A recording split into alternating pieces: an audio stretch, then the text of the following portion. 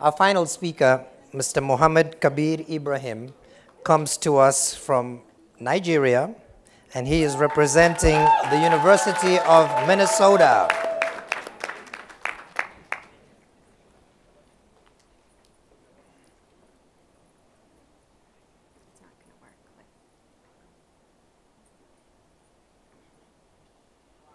Our need for housing is greater than our need for food.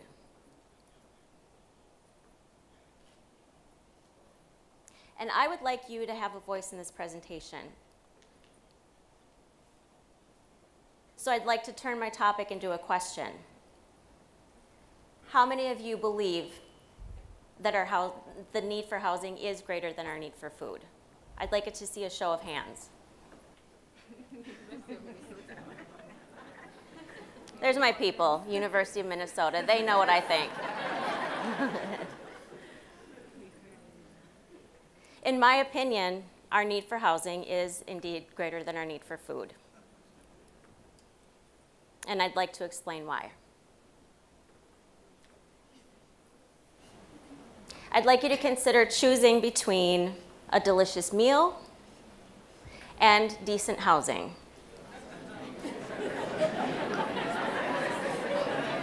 I'm guessing that many of you would choose a house. I'd like to give you some more reasons to consider the reason. I'd like to give reasons to consider why housing is more important than food. There are three basic needs in life. They are shelter, food, and clothing. And shelter or housing is by far the most expensive of the three. When you consider that a plate of food might cost $10, and a set of clothing might cost $100,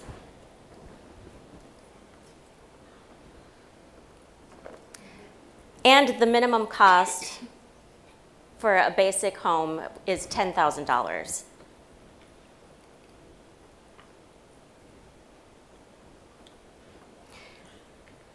I'd like you to think about what happens when people do not have access to housing.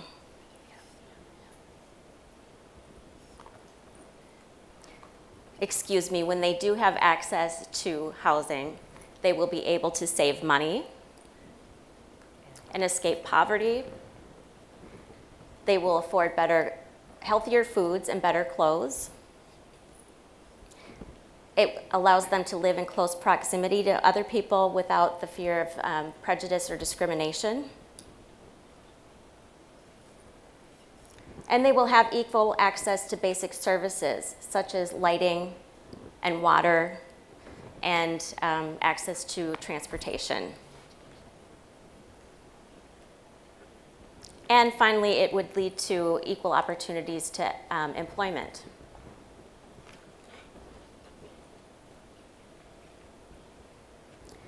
So consider what happens when people do not have access to housing. First, slums develop and basic ser services deteriorate.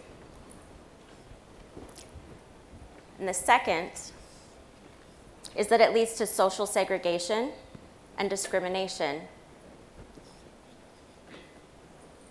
based on socioeconomic uh, status. So the poor and the rich live far from one another. A third is environmental pollution and health hazards. And a fourth problem is traffic congestion and overcrowding. So I would like to propose some solutions. The first is to encourage rent to own programs, which would allow people to rent or pay toward their home.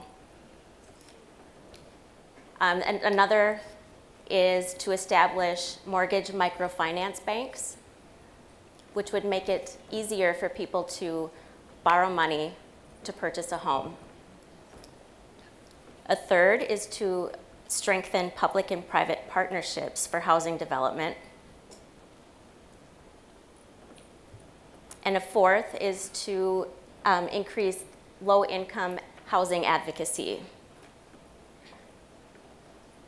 so that uh, private and public sectors can come together to develop more housing.